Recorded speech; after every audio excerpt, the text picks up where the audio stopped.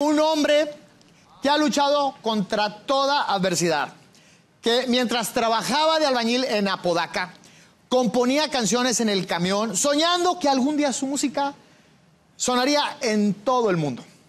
Hoy cumple 40 años en los escenarios, 36 álbums entre Bronco y el Gigante de América. Está aquí con nosotros el gran, el enorme, José Guadalupe Esparza.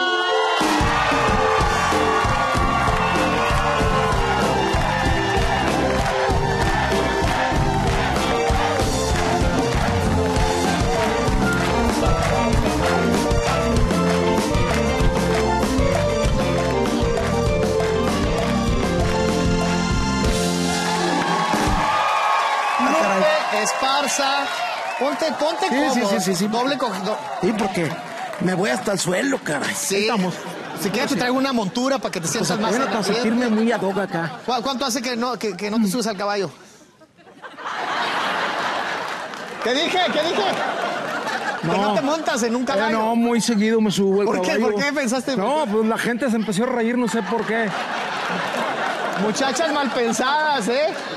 Oye, veo, veo, veo fans que te siguen. Mira, la- la señora de, de amarillo Ajá. Tiene, no voy a decir su edad, pero ella te sigue desde hace 40 años. Y, y ya. ¿En serio? Y ella ya tenía camino recorrido. ¿Verdad? Oye, pero yo quiero ir un poquito más, más atrás. Tú trabajabas de, de albañil, pero naciste en Durango. Durango. ¿A qué edad te mudas a Podaca? Casi a los siete años, ocho años. Ah, muy. Eh, muy chavalito. ¿Te consideras regio entonces? Totalmente. Realmente a, a mi, a mi pueblo donde yo nací, en sí al estado de Durango, jamás negaré donde vi la luz por primera vez. Pero ahí a ese pueblito donde yo viví lleno de tierra y de animales y perros en las calles y luz eléctrica, yo pensaba en mi ingenuidad de niño que ese era el mundo. Yo estaba feliz, yo, yo decía, este es el mundo, todo el mundo somos ¿Y, y iguales. tu primer trabajo ya en, en Monterrey, bueno, en Apodaca, fue de albañil o cuál fue el primer trabajo? No, eh, mi primer trabajo yo creo que fue bolear zapatos. ¿Hasta qué grado eh, estudiaste? Yo estudié hasta un primer semestre de preparatoria. ¿Y, este, ¿y por, qué te, por qué dejaste de estudiar? ¿Ya encontraste la Mira, música? esto no es barra. No, no, la música aún no existía en mi mente. ¿Tú no- no te pasaba por la cabeza la y- música? Y, yo cantaba, en la escuela siempre saqué cero en canto, porque antes se, se- se calificaba como una materia, canto. Creo que la música vino a rescatarme y decir, tú, tú tienes que estar acá. Mi primer trabajo, yo te decía, que era bolear zapatos. Ya en secundaria. Y tú sabes que en secundaria ya se empieza uno a alborotar con las niñas. ¿A qué edad te tronaron el dorito? Bueno, no, así se dice. Así que- ¿A- a- a qué- explícame cuál es. ¿A qué edad Lupe Esparza se entregó por primera vez a una mujer? Yo te tengo que decir una cosa. Yo soy un tipo, pues, muy a la antigua.